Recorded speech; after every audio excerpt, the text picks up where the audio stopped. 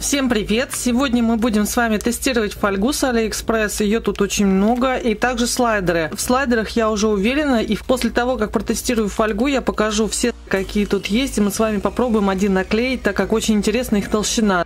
Вот с таким значком у меня уже были слайдеры, я вам скажу, что они великолепные. Качество отменные, они тоненькие и в то же время отлично носятся. Что мне понравилось в этой фольге, так это то, что в ней очень мало повторов. То есть продавец позаботился о том, чтобы у вас не лежала пачка одинаковой фольги. Очень красивые рисунки, у меня некоторые есть наподобие, но прям вот точно такое же у меня нет. И мы сегодня с вами посмотрим, насколько хорошо она печатает, на какие гель-лаки она у нас отпечатается. Так как я уже сделала такие эксперименты, оставлю обязательно ссылку ссылочки под видео, на какие у меня печатались, какие нет. Но сейчас у меня появились уже новые, и мы, конечно же, их протестируем. Сразу скажу, что Агилфавор и Эльвинск вообще не отпечатывают фольгу. Очень слабый дисперсионный слой. И в то же время некоторые гель-лаки у меня отпечатывали просто фольгу практически полностью. То есть не было видно каких-то изъянов. Все зависит от гель-лака. Сразу скажу, что на клей я не отпечатываю, потому что мне это очень не нравится. Особенно бороздочки, которые остаются после клея. Поэтому я стараюсь найти идеальный гель-лак, на который отлично будет все отпечатываться.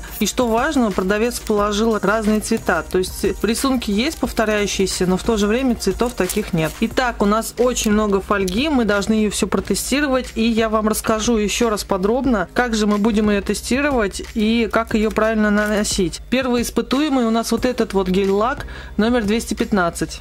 От фольги мы берем маленький кусочек, это уже на ваше усмотрение, но я не могу делать маленькими, так как мне неудобно, не за что даже зацепиться. Поэтому я отрезаю такую часть побольше, обезжириваю обязательно, так как в таком случае фольга очень хорошо отпечатывается на гель-лак. Жду полного высыхания.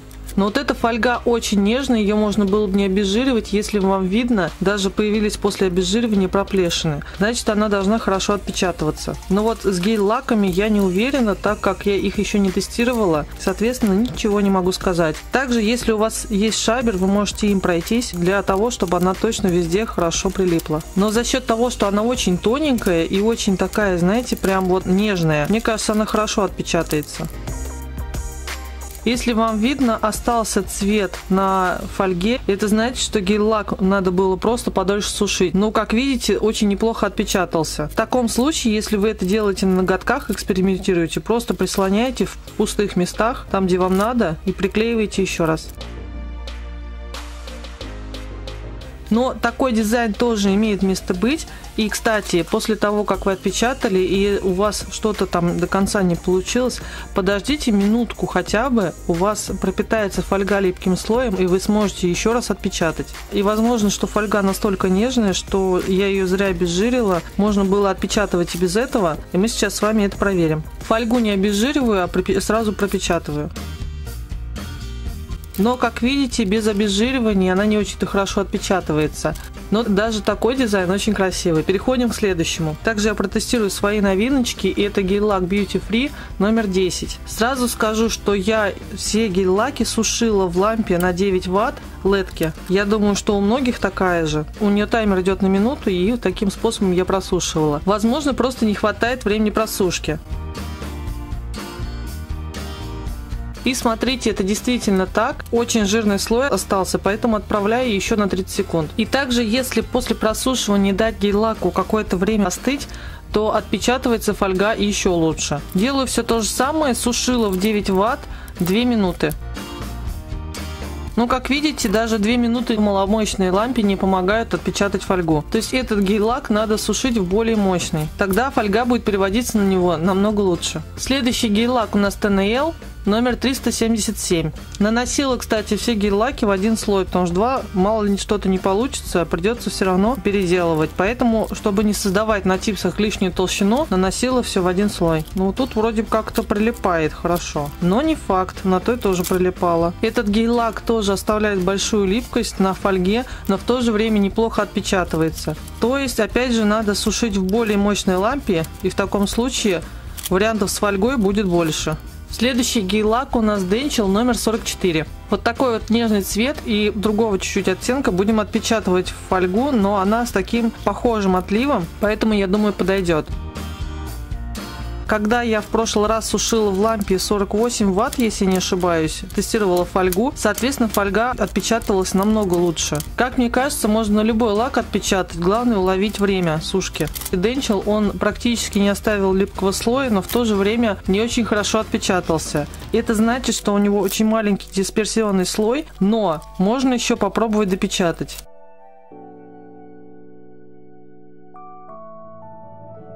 Следующий гель-лак у нас IBCC NDS номер 18. Очень красивый цвет, с ним я уже делала покрытие гель-лаком маме, и ей он очень понравился. Производим те же самые действия, ничего не отличается. Мы просто тестируем, какие гель-лаки у нас хорошо просыхают в 9-ваттной лампе, и в то же время на какие отпечатывается фольга при такой немощной лампе. У меня чуть-чуть съехало, но пока непонятно, отпечатается она или нет. Смотрим липкий слой, его практически нет. Значит, этому гель-лаку хватает минутку в 9-ваттной лампе.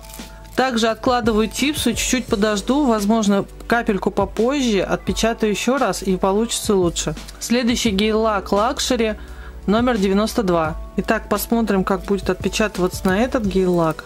Я не помню, пробовала я на него или нет. Мне кажется, что не пробовала. Хотя я... А, девочки, я делала с ним покрытие гель-лаком и также отпечатывала на него фольгу. Так что он должен отпечатать хоть что-нибудь.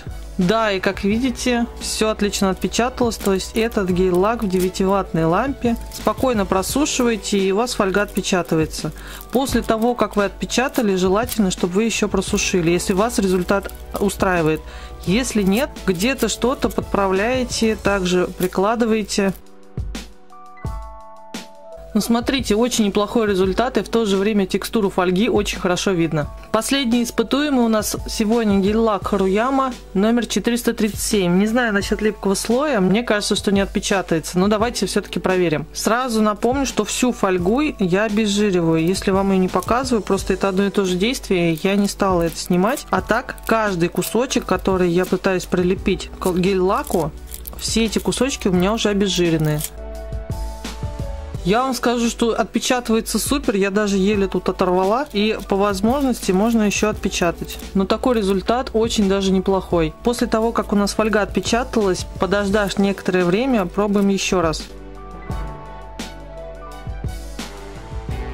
С этим гель-лаком это не работает. Это вот такой вот гель-лак, то есть на него надо отпечатывать сразу. Если не получилось, то просто переделывать. Следующий гель-лак у нас Beauty Free. Возможно, я делаю слишком сильный нажим, поэтому фольга не прилипает, а съезжает. Но, как видите, все то же самое. То есть надо вам свой гель-лак прям вот досконально с помощью своей лампы понять, в какой момент надо вытаскивать типсу и на нее отпечатывать. Следующий у нас ТНЛ. Таким же способом пытаемся. И все то же самое, второй раз уже не отпечатывается. Гель-лак Denchel изначально неплохо отпечатался, поэтому, думаю, не страшно, если он повторно не будет тоже отпечатываться. Липкого слоя как такового уже нет, поэтому не получается.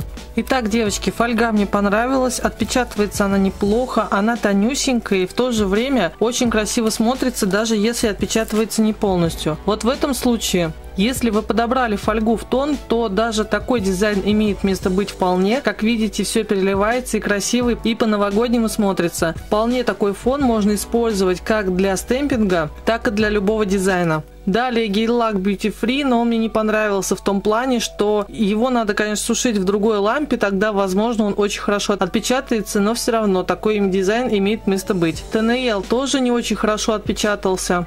Гель-лак Denchel неплохо отпечатался, но опять же надо подбирать время сушки. IBCC NDS в новом флаконе совершенно не понравился, потому что даже сплошных каких-то отпечатков просто нет. Значит, он также будет печатать в любом просушенном виде. Гель-лак Luxury у нас в этом плане фаворит. Оказалось, что отпечатывает практически полностью всю фольгу на себя. И в то же время можно еще где-то что-то подпечатать, если не сработало. Гель-лак Харуяма. Если у кого-то такой же есть, попробуйте обязательно отпечатать. Как видите, очень даже неплохо. Главное также подобрать время сушки. Если в 9 Вт сушила минуту, значит в более мощной лампе сушить 30-20 секунд. Итак, сейчас буду листать слайдеры. Очень красивые, очень симпатичные Рисунок очень четкий, нету никаких смазываний, печать отличная. И в то же время очень такие дизайны милые могут с ними получиться. Также есть отдельные какие-то элементы, с которыми можно составить очень красивый маникюр.